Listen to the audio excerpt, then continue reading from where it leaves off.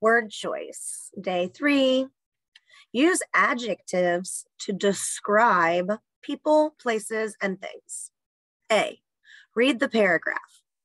Amy wrote about her school. Circle the adjectives. So the adjectives are describing words. My school is in a small town on a quiet street.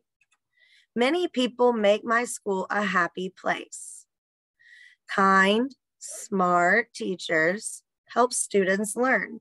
Cooks prepare hot, tasty lunches. Cleaners scrub the floors and keep them shiny.